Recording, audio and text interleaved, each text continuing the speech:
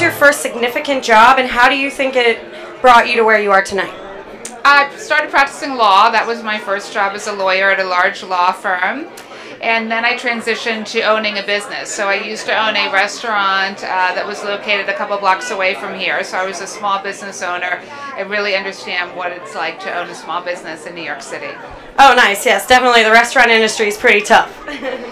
It can be, it can be, it can be. And now, in my new role as Commissioner of the Department of Consumer Affairs, we're very focused on reducing fines on small businesses. So, under the mayor's leadership, we're really reaching out to businesses throughout New York City to make sure that they know that the Department of Consumer Affairs is focused on reduction of fines. So, we're projecting that we're going to reduce our fines by $5 million in the upcoming fiscal year. And we're also doing a lot in terms of outreach. So, we're doing inspections now in language of choice for the first time ever.